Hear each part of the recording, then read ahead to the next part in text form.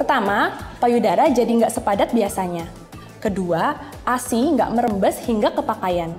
Ketiga, saat Bunda memerah ASI, jumlah ASI yang keluar berkurang atau cuma sedikit. Bunda juga bisa mencurigai adanya penurunan jumlah ASI dari tanda-tanda yang ditunjukkan si kecil, misalnya ia terlihat masih lapar setelah disusui atau berat badannya nggak kunjung meningkat atau justru menurun. Tapi perlu diingat ya, tanda-tanda yang barusan saya jelasin belum tentu juga tanda dari penurunan produksi ASI. Soalnya ada beberapa kondisi kesehatan lain yang bisa juga menimbulkan gejala mirip seperti tanda penurunan ASI tadi.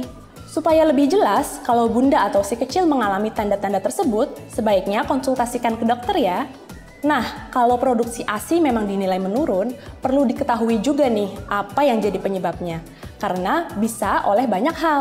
Bisa saja si kecil kekurangan ASI karena memang teknik menyusui bunda kurang tepat.